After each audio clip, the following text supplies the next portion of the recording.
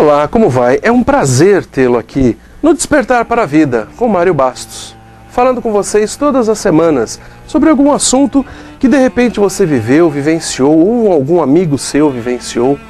Estava pensando este final de semana e eu comecei a me questionar: Mário, será que você está fazendo o que você realmente gostaria de fazer? E ampliando um pouco mais os meus pensamentos, eu pergunto: será que você está fazendo o que realmente você gostaria de fazer? Ah, mas o que eu gostaria de fazer não me dá dinheiro, o que eu gostaria de fazer não dá para eu viver. Será? Será que não daria? Porque eu penso assim: quando você faz uma coisa com carinho, quando você faz uma coisa com amor, quando você está feliz, as coisas acontecem automaticamente. Quantas pessoas têm os seus talentos, os seus hobbies? Ah, eu gosto de fotografar, eu gosto de desenhar, eu gosto de pintar, eu gosto de fazer um artesanato. Mas eu só faço isso quando eu tenho um tempinho. E quando que você tem esse tempinho? Quando que você realmente se dedica para as coisas que você gosta? Nós fazemos o que os outros gostam, nós fazemos o que o nosso chefe gosta, nós fazemos o que a televisão indica, nós fazemos o que está bombando na internet, por modismo, porque um amigo falou, porque uma amiga está fazendo e é bom para ela. E para você?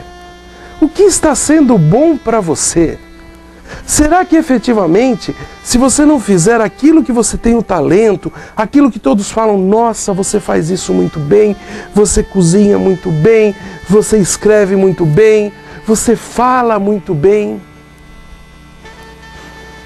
ir em busca dos seus talentos. Ah, porque eu vou aprender a ganhar dinheiro. Ah, porque eu vou naquela escola e lá eu vou aprender, eu vou aprender. Claro, é importante aprender. Mas melhor do que aprender é aperfeiçoar o que você já tem de bom dentro de você. Sabendo equilibrar. Sabendo que você tem um foco na sua vida. Como diz o caipira, nós damos tiros para vários lados.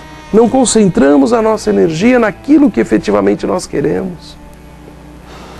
Vamos nos concentrar, vamos focar a nossa energia naquilo que nos dá prazer naquilo que nos dá efetivamente a felicidade. Depois que termina o serviço, você fala: puxa vida, que gostoso que eu fiz isso, como foi bom, eu vou fazer mais, mais e mais. Aperfeiçoe-se, porque quando você se aperfeiçoa, você já está no meio do caminho. Quando você vai aprender, você começa do zero. E será que é aquilo que você quer? Ou será que aquilo que seu pai e sua mãe falou que dá dinheiro? Ou será que aquilo que seu amigo falou que ele está ganhando muito dinheiro?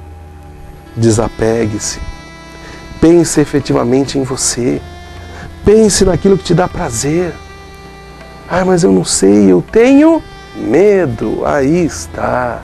Mais um sentimento, ou melhor, até o pior sentimento que um ser humano pode sentir: medo medo de fazer, medo de crescer, medo de ousar, medo de se arriscar. Fácil? Não, mas pode ser simples. Em frente.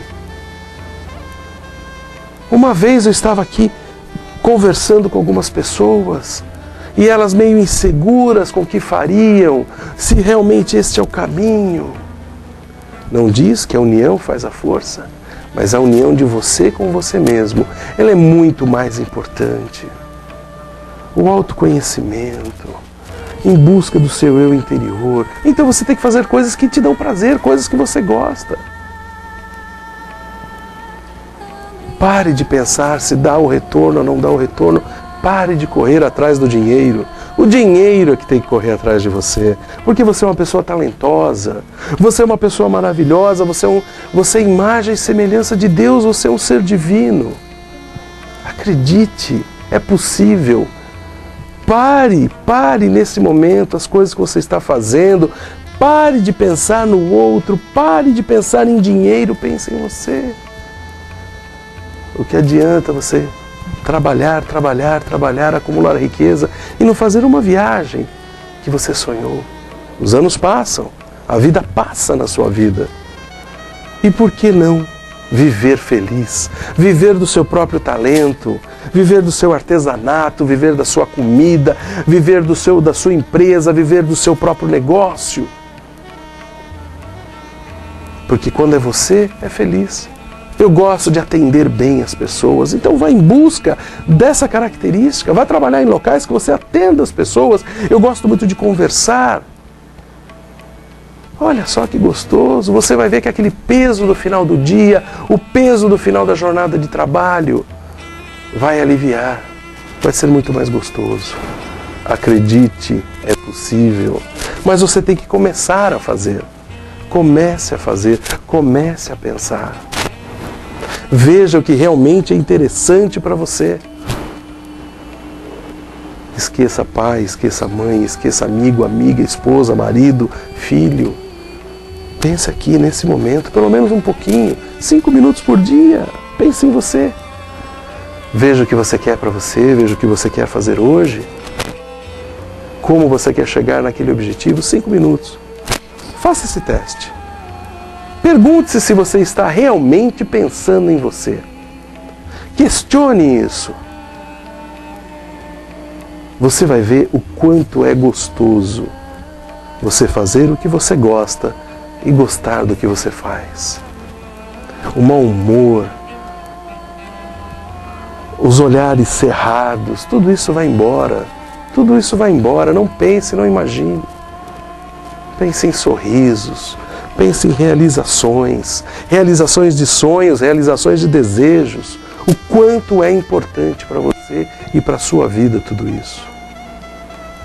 E hoje eu vou dedicar este programa, essas palavras, a você que está perdido dentro de você mesmo. Para você que não está definido na sua vida, encontre-se Encontre-se com seu Deus, encontre-se com você. Converse com você e veja o que você quer, para que você possa despertar para a vida de uma maneira diferente. E aqui embaixo está passando o meu site. Vá visitar o meu site.